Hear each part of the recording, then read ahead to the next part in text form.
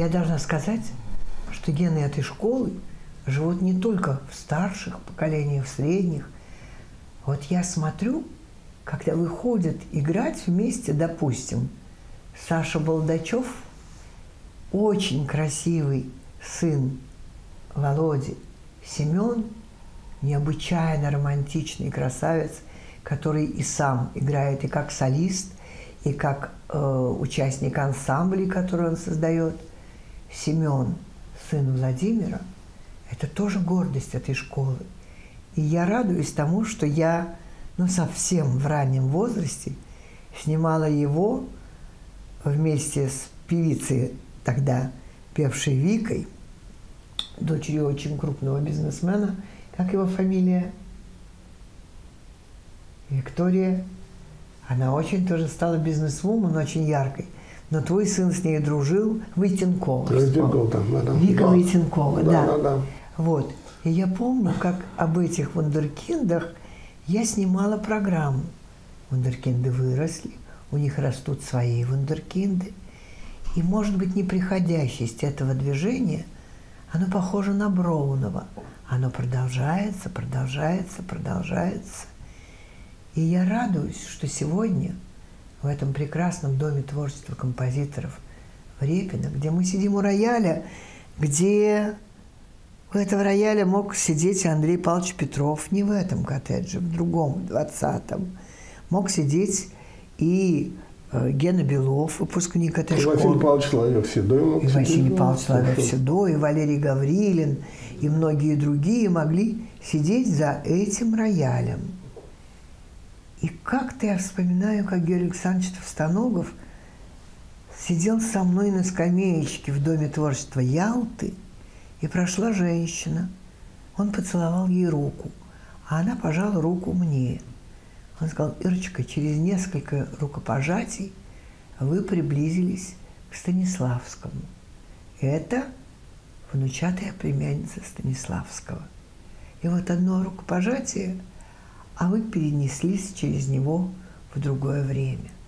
Мне кажется, во-первых, в десятилетке не было ни рукопожатных, потому что каждое пожатие руки было творческим и как переливание крови, как донорство. Я вспоминаю, как возникали там ансамбли, прекрасные, интересные, инструментальные. Вот Сонечка Ялышева, прелестная пианистка, вдруг запела, и влюбленные в нее, и Володя, и мой племянник Игорь Тайманов. Кстати, замечу, что у нас тоже очень крупная династия, потому что Марк принадлежит, в общем, ко второму поколению, которое пришло из хорового училища, перешло в школу-десятилетку, которую возглавил его профессор Самар Ильич Савшинский.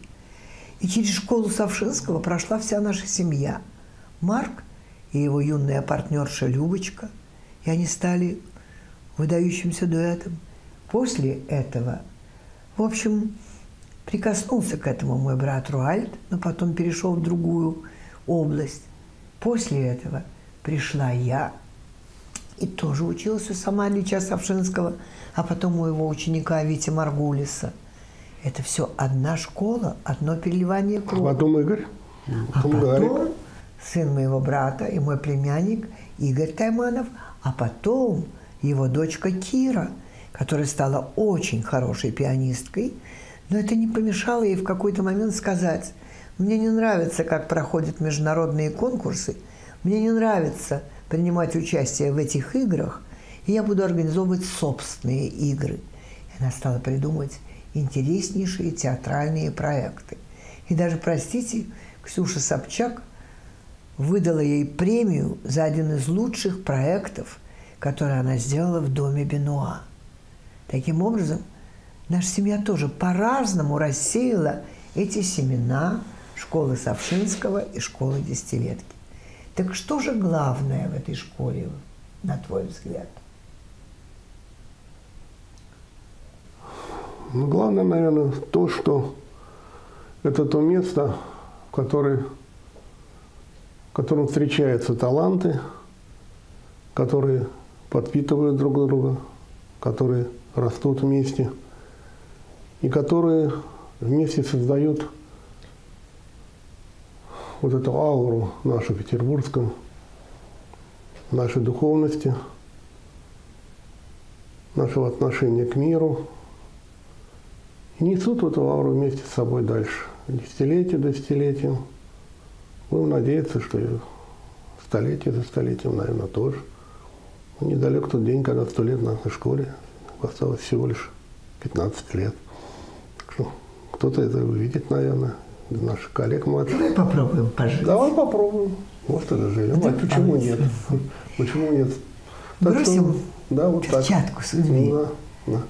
А я хочу добавить, что когда мы понимаем, что в этой школе специально дирижеров не учили, и тем не менее, когда я вспоминаю только крупных дирижеров, таких как Тимирканов, Янсенс, Павел Бубельников, Василий Юрий, Синайский, Юрий Симонов. Юрий Симонов. Какое количество крупных личностей. Почему я говорю об этом? Потому что дирижер и режиссер, и музыковед – это лидеры. Лидеры музыкального искусства. Таким образом, вот именно эта школа воспитывала такое творческое соревнование, конкурс, в котором лидеры, в общем, могли состояться. И мне кажется, одно из важнейших свойств этой школы, которая называлась «Для особо одаренных детей», кстати, вспомнила еще одного дирижера, Михаила Сергеевича Голикова, который сегодня возглавляет два оркестра, а он закончил именно эту школу, Миша Голиков. Таким образом, продолжается и сегодня. А сегодня его дочь, флейтистка Маша, учится в этой школе, и тоже продолжение династий. Я буду сейчас делать цикл «Петербургские династии». Как много династий вышло из этой школы, и династия Володи, и моя династия, и династия многих-многих людей, которые принесли эстафету культуры, интеллигентности. Сегодня тоже одна из династийных музыкантов э, Анна Сергеевна Дивановская. Дивановская. Тоже дочка нашего десятилетчика и десятилетницы, потому да. что и мама, и папа у нее окончили эту школу. И мама работает. То есть Наташа прекрасный Наташа педагог. Хочу напомнить еще Мирослава Култышева, превосходного пианиста, ну, а э, который, в общем, сегодня как раз в Мурманске получил гран-при просто в потрясающе сложном конкурсе, как мне сказала его педагог Зора. Она сказала, что такое соревнование бывает у исполнителей редко. И он опять получил в нем первое место и гран-при. Сколько эта школа выдала ярких. Как же, как Сережа Дагадин. Сережа Дагадин и его сын, да, изумительный. Да, Андрей. Э, да, Сережа Дагадин, артист. Отец отец Андрей, да. сын Сергей Скрипач да, да. тоже это все наша школа. И когда мы начинаем даже кого-то забывая, да, да конечно, был артист потрясающий Крамаров, который ну, тоже учился в этой школе. И был как бы основателем, в общем, этого вот такого нашего альтового стиля. Ну да, Борис Львович, один, да. Борис Львович Гутников, и что? Михаил Вайман. И Михаил Израильевич Вайман, это что, какая школа? Да то же самое.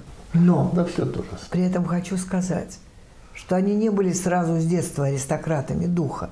Борис Гутников, сын Костелянши, Володя Устиновский, сын цыганки, которая тоже была уборщицей Уборщица нашей школы. школы.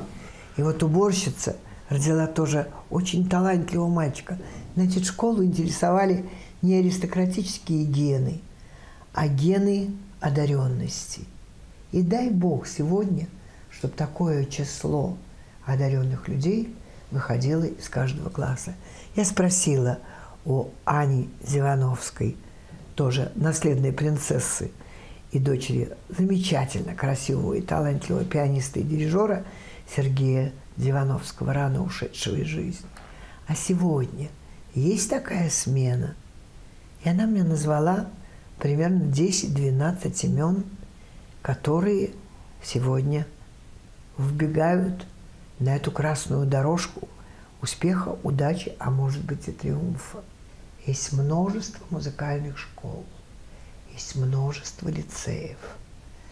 Но если мы говорим о тех, кто стал вспышкой яркой, эмоциональной и звездой на мировом небосклоне, то это лидеры. Это композиторы, дирижеры, музыковеды.